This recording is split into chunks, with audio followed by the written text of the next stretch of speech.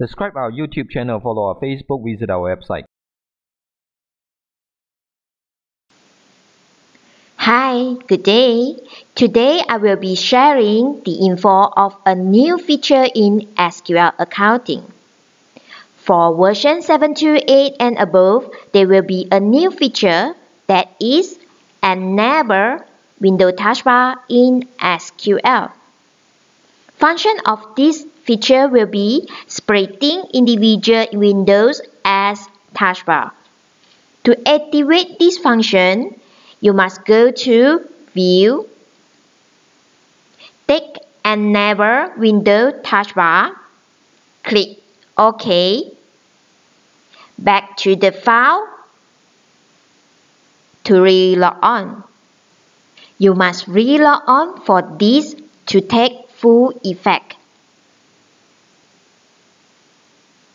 As a result, when there is more than one individual window at the same time, for example, sales invoice, purchase good receive note, and stock maintain stock item, at the bottom of your screen, you will find three different windows as taskbar.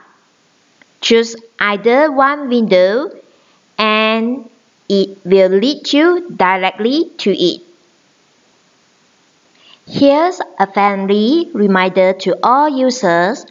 If after you minimize SQL, then you go back to maximize again, you will be unable to do so however you click to the taskbar.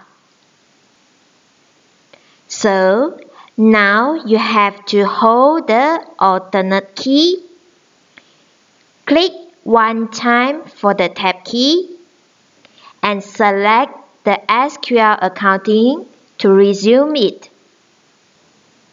The main reason why this happens is because you activate both of the tab docking and window taskbar under View tab. Choose either one of these display functions to avoid trouble. Example, untick Enable Window taskbar to deactivate it. Then relog on for it to take full effect.